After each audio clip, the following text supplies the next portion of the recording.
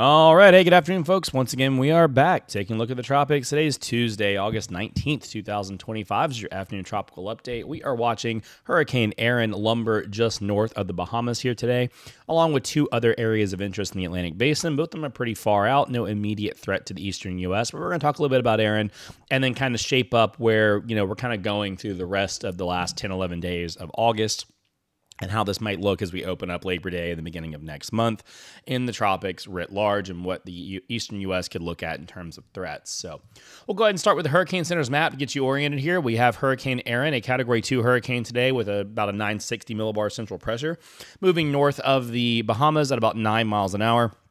Movement's more northwest right now, and a more uh, north to northeast recurve expected over the next couple of days. We have a disturbance lumbering through the central Atlantic with a 60% chance of development, and then another system that's just left Africa that's actually already tagged as an invest near the Cabo Verde Islands. This one has a pretty good chance to develop, and then um, might have some trouble afterwards as it moves into the central Atlantic. So, Erin up first. National Hurricane Center's current forecast a tropical storm warning has been issued for parts of the Outer Banks in North Carolina, and a tropical storm watch has been issued for just a little bit of uh, Virginia's coastline as well, and some of the southern part of like uh, Delmarva region. I think uh, the Cape Charles Lighthouse in Virginia. Um, you know, a lot of these other ones are, are Outer Banks, you know, Cape Lookout, uh, Duck, North Carolina, Beaufort Inlet um, kind of region. So we, we are a little bit more confident that some tropical storm conditions are going to brush the Outer Banks. And as we talked about a couple days ago, Erin's kind of more westerly jogs kind of set this up to where we thought this was going to get pretty close, and it is. So there have been some mandatory evacuations for parts of the coastline of uh, the Outer Banks, North Carolina. And Erin is a very large hurricane. Current satellite presentation has gotten much larger over the last couple of days since we last talked. Now, Erin is struggling today. There is some pretty clear indications of dry air getting in. You can see a frontal boundary laid out to the north of Erin, and that dry air is wrapping around and up into the storm. There's uh, obvious chunks of convection missing on this north and west side of the storm. So it's still got pretty good inflow from the southeast, and it's got good outflow aloft with the cirrus canopy moving away. But the other, the out, the upper outflow channel has been cut off temporarily, so it's only got one outflow channel to work with right now. It's growing in size, which means it's going to have to pull more and more heat fluxes off the uh, ocean to, to continue to maintain its strength. And as storms get get larger, they typically get a little bit weaker in terms of maximum wind speeds. So what we kind of slowly seen with is category four yesterday, and as it grows larger, it's kind of come down to like category two. It does look like Erin's going to make a little bit of a bounce back. Hurricane Center does has this becoming a, uh, well, they had it becoming a major hurricane again. They actually on the new cone don't have that anymore. They're going to hold this right about category two intensity, may flirt with category three intensity and uh, as it turns up and out of here. Current uh, potential for tropical storm force winds for the Outer Banks, North Carolina, sitting at about 30 to 40% if you look at the very far edge of the Outer Banks. Um, that's kind of where your best chance are for sustained tropical storm force winds, but I would say that most of the Outer Banks and maybe the very southern part of that uh, Delmarva region could be looking at the potential for some tropical storm force gusts at least. Expect scattered power outages, some minor coastal flooding, definitely some heavy coastal erosion. Now, as we've talked about with this, um, you know, surge, not really a big deal outside of these like Cape Lookout to Duck kind of region where two to four feet is possible. But minor coastal flooding, like tidal flooding, is more likely with this setup. And that persistent onshore wind just kind of piles the water up, you know, doesn't let that stuff uh, drain back out. And, um, but rip currents and dangerous surf really going to be the key here, guys. And especially as we talked about yesterday on the page, there's a lot of families vacationing and hanging out in these uh, beach towns and beach cities that are, you know, for the kids go back to school. There's a lot of people, these beaches, that don't know what rip currents are. They're not used to the water. They're not particularly great swimmers. Um, so it's a very dangerous situation to go through the next couple days. And this rip current risk is not just North Carolina; it will be all the way down to Florida and up the East Coast, especially later in the week as Erin's influence comes up there. So uh, please keep an eye on Erin if you're on the coastline here. And note, even if you're not in the tropical storm watch or warnings, you could have some gusty onshore winds, and again, rip currents, high swells, waves, that kind of thing is going to be an issue this week as Erin passes by. But again, confidence remains high that she is going to confidently shoot this gap between Bermuda and the Outer Banks. Thankfully, it's going to stay far enough away from Bermuda to not have any direct impacts. And just a brushing blow for parts of the Outer Banks of North Carolina. Let's go ahead and take a look at these other two systems out here. We are out in the MDR, a little bit off of Africa, again here on Tropical Tidbits, looking at the satellite presentation. We have two different systems on our hands. Uh, to the left here, we have not invest anything yet. We have this broad monsoon gyre trough that uh, is moving along. It's a very broad wave envelope lumbering off to the west. Um, this is partially an African easterly wave and a whole portion of the monsoon trough moving along with it. This is a very broad, very disorganized system. And although it looks like it's going to have a better chance off to the west to develop, it's going to take a couple days for that to organize. Talk about that first. And then we have a much more compact Invest 99L showing some decent uh, thunderstorm activity. Kind of unclear if we've got a close circulation or not. So, you know, it's, it's definitely working its way there. And it looks like, you know, in the next day or two, this could have a decent chance to become a tropical depression or a short lived tropical storm. Uh, we'll talk about that second. So, again, uh, the big wave is the area in orange. This has got a 60 percent shot over the next seven days, 10% over the next 48 hours. Looking at the GFS model as we bull this into view on Thursday, this is our wave right here. Uh, notice the wave axis orientation is very laid back. So the wave axis kind of leans more towards like three o'clock on a clock instead of like upright, like towards noon or 11 is what we would kind of more see when we would see these develop.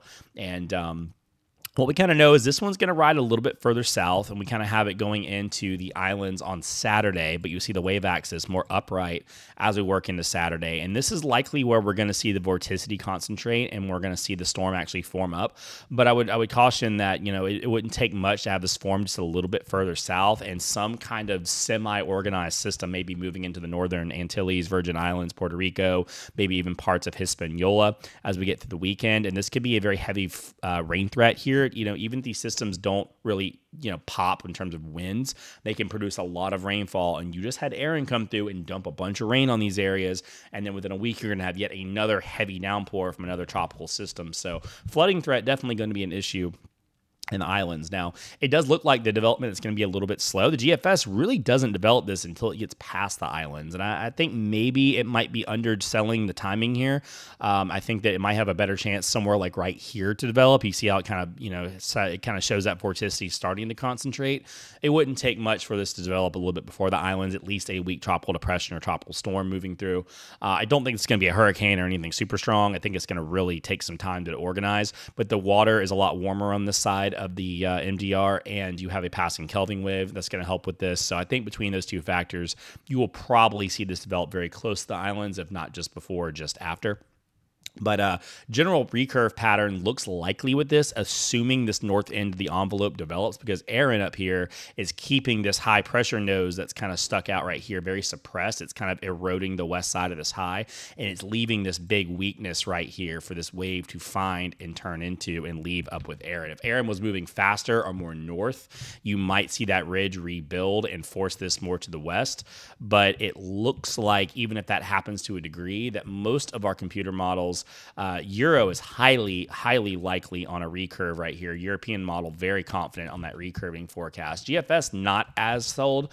Uh, GFS shows a much larger ensemble spread where a group of ensembles takes this further west into the Bahamas and the um, you know northern Caribbean islands, whereas another group of models, especially the stronger solutions, are pulling this more northward. Certainly, the more strong solutions are going to favor that recurve pattern. A much weaker system might drift, and even sometimes in big troughs like this, you can see energy break off and move west. So we'll keep an eye on that to see what happens. I don't think it's anything imminently threatening, but it is something we're gonna have to watch to make sure we don't have any energy that gets away from us. And like you have a northern envelope develop and move north, and you have this like southern kind of piece break off.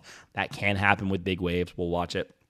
That may be what the model is picking up on to a degree or another. But again, pretty good confidence here that the most coherent part of the system will likely recurve. We're going to have this cold front laid out across the eastern U.S. next week. There's a good shot of cold air coming in. Uh, CPC graphics show this pretty well. Uh, as we look into the rest of the month, you're going to have multiple strong cold fronts leaving the eastern U.S. and uh, coming out into the eastern U.S. for August. So that's going to also likely keep multiple lows and fronts moving through, which should pick this up and move it away, hopefully, anyway. So um, this wave right now, again, big rainfall threat for the islands, but as far as the eastern U.S. goes, not particularly worried about it as of yet, but we do have some things to watch, so we'll keep an eye on it.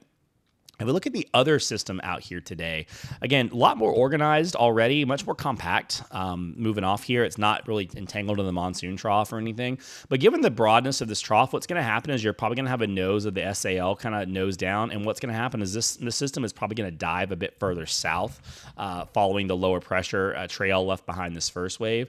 And if we look at the current storm output here on Tropical Tidbits, we can see the first uh, super ensemble guidance shows this pretty well. It shows this, this latitude loss down almost 10 degrees north, and then it runs it more westward for the couple days after that. I think that's what's probably going to happen.